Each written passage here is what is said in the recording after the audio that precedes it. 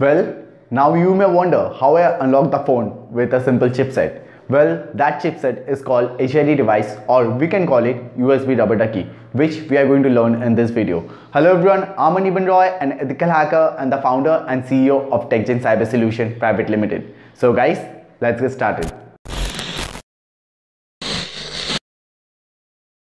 This channel does not promote or support any illegal activities. This video is for education purpose only, to educate you on cybersecurity and make you aware of cyber threats. Use your knowledge carefully and wisely. Me or my channel will not take any responsibility if you use it for illegal purpose.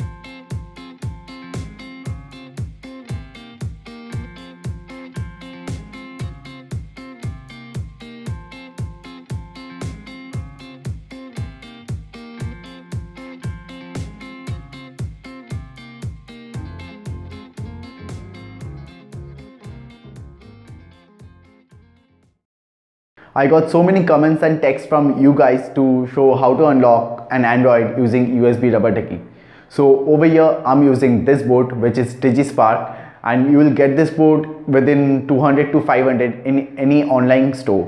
I'll provide the link in the description. You can check it out if you want to buy it. Now this board will work as a HID device or a human interface device as I told you earlier. Now I already made a previous video on USB rubber ducky and how to make it work and how to configure it. So you can find that video in the description or over here somewhere. Because in this video I'll not cover all the softwares and configuration which I'm using. So please check out that video if you haven't checked yet. So let's get into our computer screen. So these are the requirements we are going to need.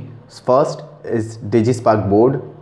Second is a converter and thirdly a mobile phone. If you have all this, then we are ready to start. So finally we are in our computer system and now firstly we need a software which is Arduino. Now if you don't know from where you can download it, you may check the link in the description we'll get it over there or check my previous video where I showed all the setup and everything so this is the software let's open this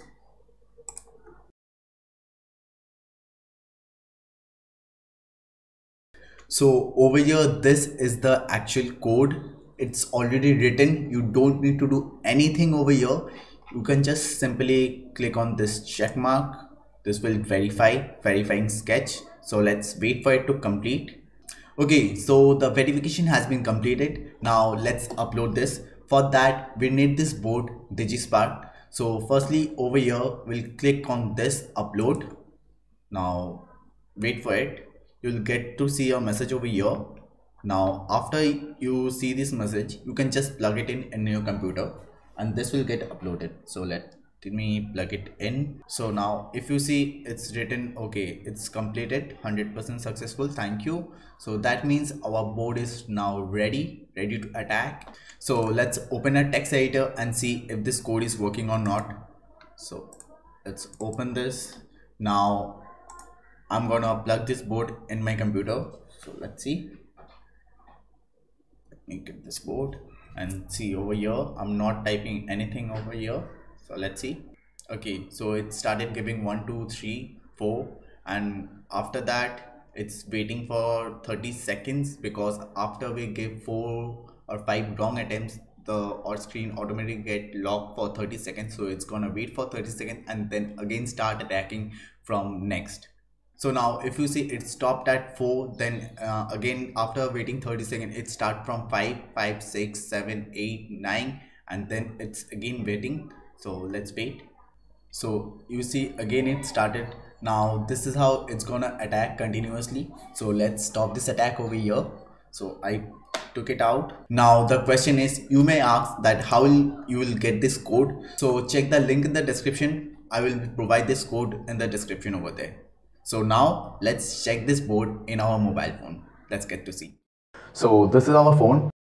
Now let's connect the DigiSpark board. Now wait for it. So now if you see it started giving pin. Now after giving 4 wrong attempts, it is waiting for 30 seconds. Then again it will start giving pin after that.